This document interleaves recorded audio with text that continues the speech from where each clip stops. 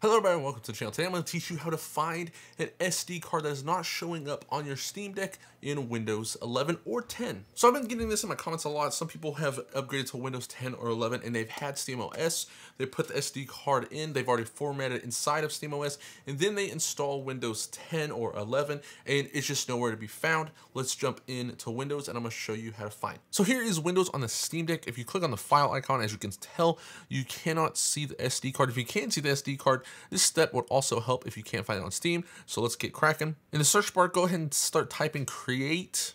You'll see create and format hard disk partitions. Go ahead and click on that. Now that we're here, you can see there is the SD card. It's unallocated. Let's go ahead and right click, click new simple volume. This little box is gonna pop up. Go ahead and click next, hit next again.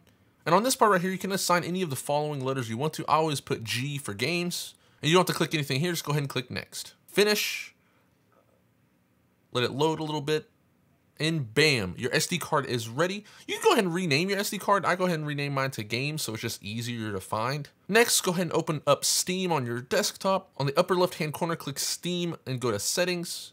Then you're gonna click on Downloads.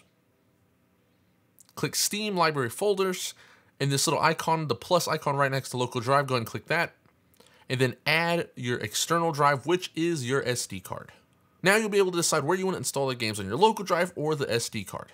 And just like that, you're done. If you click install on a game, it'll say choose location. On the location, click it, and you can choose the little SD card or the system files on the Steam Deck. I hope you enjoyed the video. If you did, like and subscribe. If you have any questions, drop those down in the comments.